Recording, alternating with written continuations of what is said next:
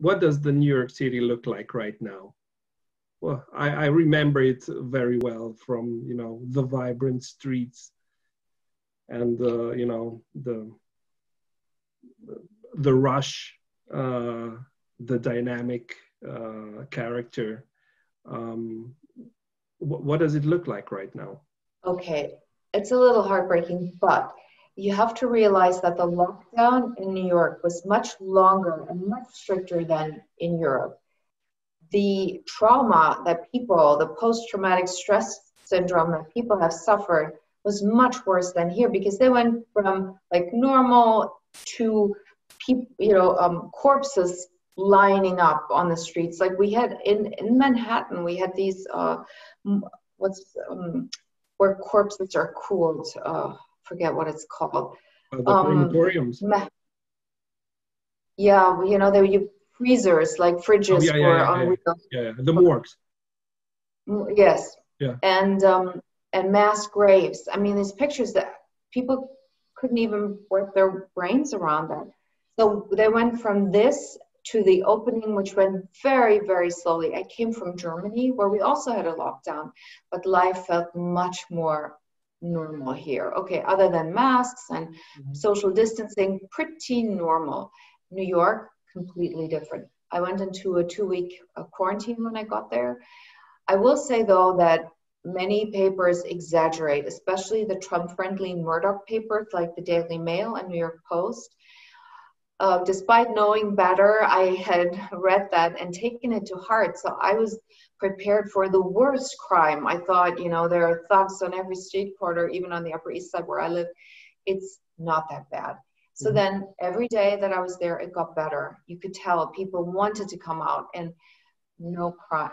Of course, there'll be more crime when there's more poverty, but not, it's more in the, at night with gangs and in the Bronx. So not where you're. Walking around the middle of the night. Mm-hmm. So, um, so I felt people want we had dream weather. So everybody was outside. The restaurants could only serve outside. All the restaurants were full. Um, women older people all dressed up you know jewelry because they were so happy to socialize. I will say 50% of people are still traumatized. They will not meet they will not meet, leave their apartments which had, mm-hmm. have become prisons essentially um, will have everything delivered which is convenient in New York. I also went to my, and, and 50% is kind of like you're pulsating and like wanting their old lives back.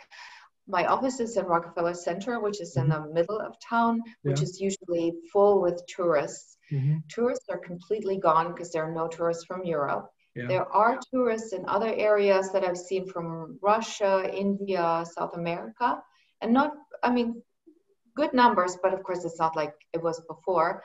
Mm-hmm. And then every day you saw more people, like little groups of people you could tell were dressed for the office with tie and mm-hmm.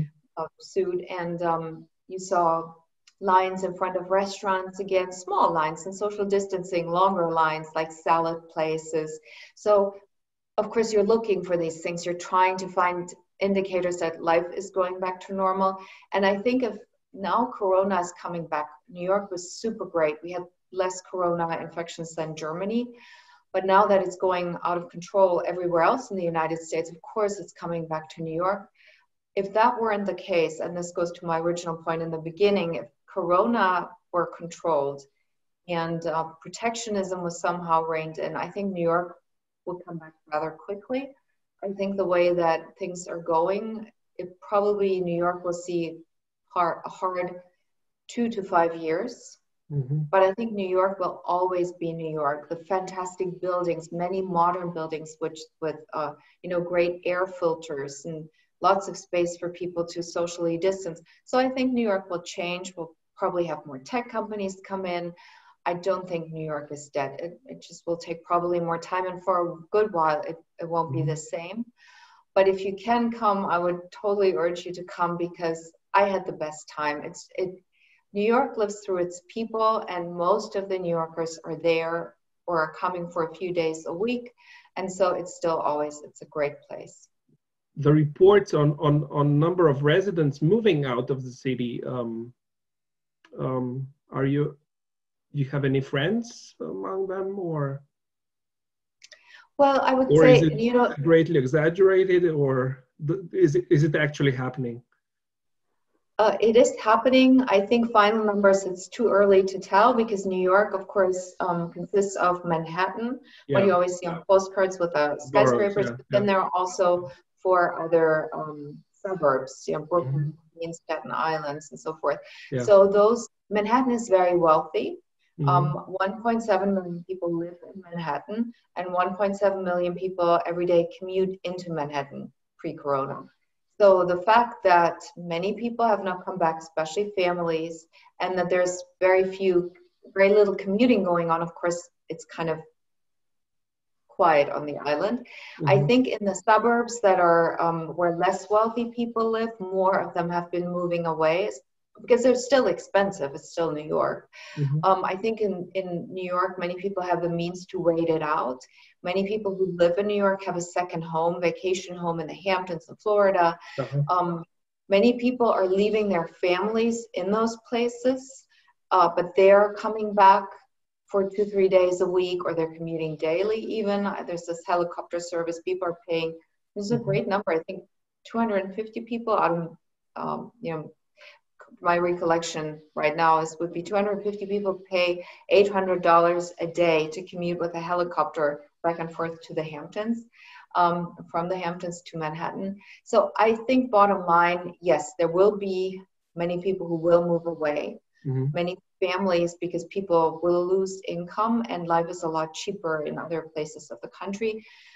But I think it's too early to tell because people live in New York because they tick like New Yorkers. They Mhm. want the interaction with other people. They they go crazy. I mean, if they wanted, to, they have all the money in the world. If they wanted to live in the country, they could have always moved to the country. Yeah. Uh, I think not as many people will have permanently moved away as people think, but for the time being, people a lot of people are also staying away.